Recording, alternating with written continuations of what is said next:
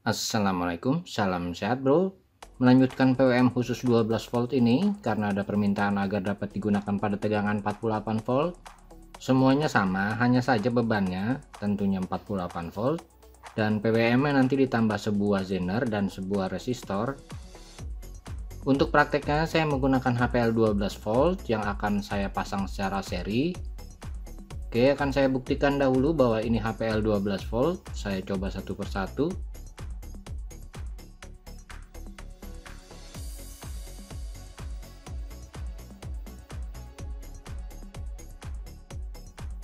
lalu saya pasang secara seri dua buah dengan tegangan 12 volt tentu tidak bisa menyala. Saya naikkan tegangan inputnya. Ya sudah mulai menyala. Bila di seri 2 tegangan maksimum sekitar di 24 volt. Karena kita akan tes di 48 volt maka serinya menjadi 4 buah. Perhatikan tegangan input akan saya naikkan perlahan. 25 volt sudah mulai terlihat menyala dan 30 volt sudah mulai terlihat terang. Dan tentunya tegangan input maksimum 48 volt. Jadi saya akan praktek di 48 volt dengan beban HPL 48 volt. Oke kita lihat skematiknya. Oke mengenai keterangan PWM ini bisa kalian lihat di video saya. Addressnya ada pada deskripsi dan agar PWM ini dapat bekerja pada tegangan 12 volt sampai 60 volt kita harus menambah sebuah resistor dan sebuah zener. Dioda DP ini merupakan dioda pengaman tegangan terbalik yang besarnya tergantung dari beban yang kalian gunakan. Dan penggunaan MOSFET ini tergantung dari beban yang kalian gunakan juga atau yang sudah menjadi kebiasaan yaitu kemampuan arus rangkaian ini.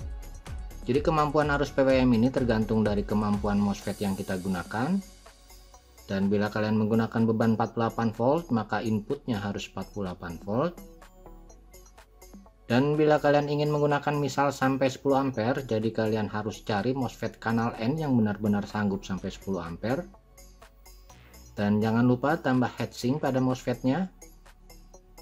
Lalu bagaimana cara menghitung besar R dan zener yang digunakan?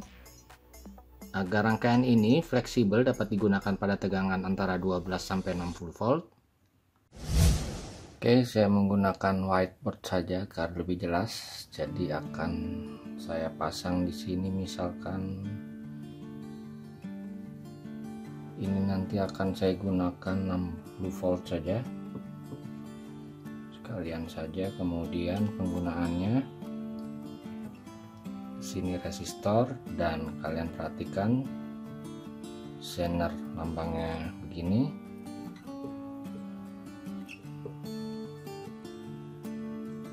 nanti yang akan saya gunakan 12 volt. Oke ini inputnya. R. Jadi yang perlu dihitung ini nanti ke rangkaian ke PWM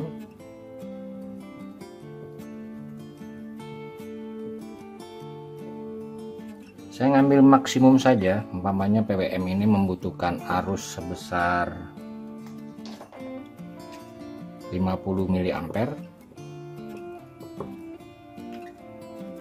jadi perhitungannya kalau kita ingin menggunakan tegangan catu 60 volt R sama dengan V in dikurang V zener dibagi arus yang kita desain 50 mA jadi sama dengan 60 dikurang. 12 dikurang 50 dibagi 50 mA dapat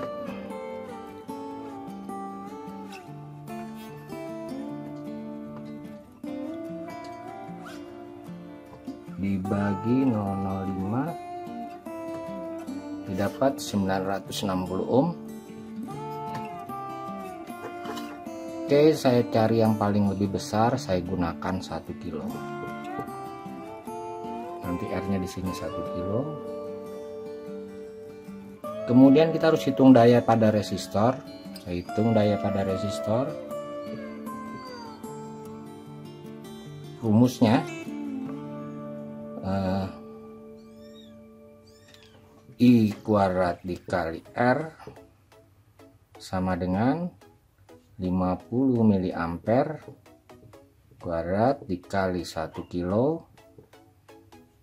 Ini jatuhnya dua setengah watt. Jadi kita harus menggunakan R dua setengah watt.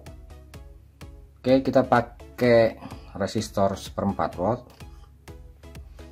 Karena kita menggunakan R seperempat watt maka agar jumlahnya yang di paralel berapa banyak? Dua setengah dikurang.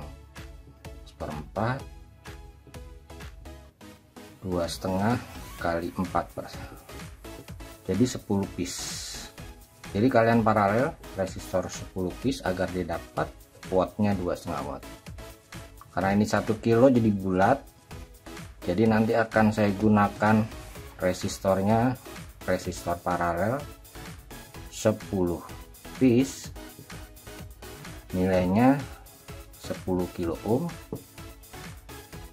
Jadi bila di paralel ini didapat nilai 1 kilo ohm dua setengah watt. Oke sampai sini kalian paham? Jadi nanti akan saya gunakan resistor 10 kilo ohm saya paralel 10 buah. Oke sampai sini. Sudah paham? Kan saya hapus. Oke saya hapus saja.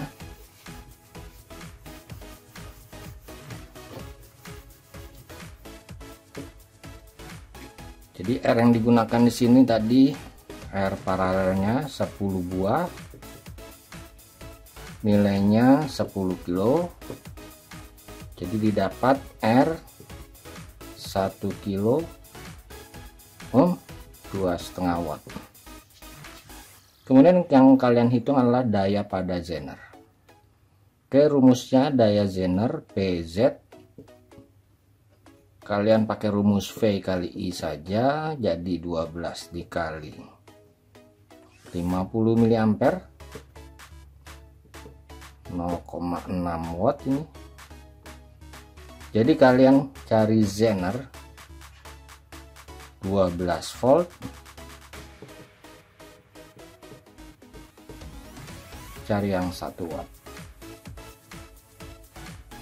Jadi ini paralel 10 buah 10 kilo. Ini Zener 12 volt 1 watt. Oke kita lanjutkan ke praktek pertama akan saya paralel 10 buah resistor 10 kilo ohm seperempat watt. Ini saya gunakan karena banyak di pasaran. Memparalel ini agar didapat dengan nilai baru 1 kilo ohm 2,5 watt. Kalian bisa cari resistor 1 kilo ohm minimum 2,5 watt atau lebih besar lebih baik.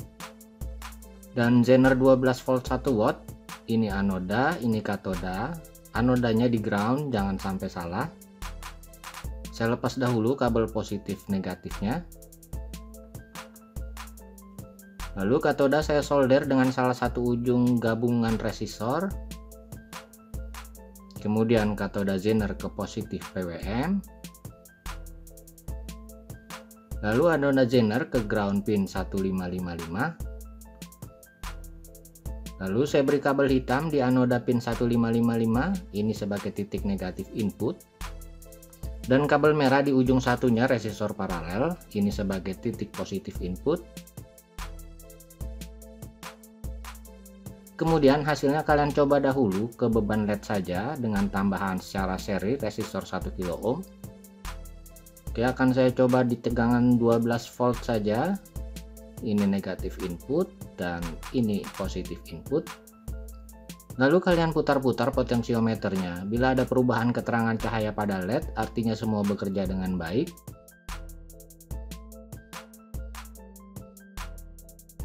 Oke langsung kita beri beban source MOSFET ke negatif input. Kemudian beban negatif ke drain MOSFET.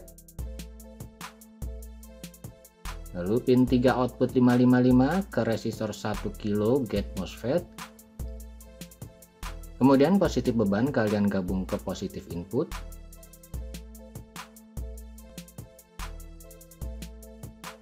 Ini negatif input dan positif input saya recheck dahulu. Jika sudah yakin baru saya on kan oke bro mudah bukan? Salam sehat. Assalamualaikum warahmatullahi wabarakatuh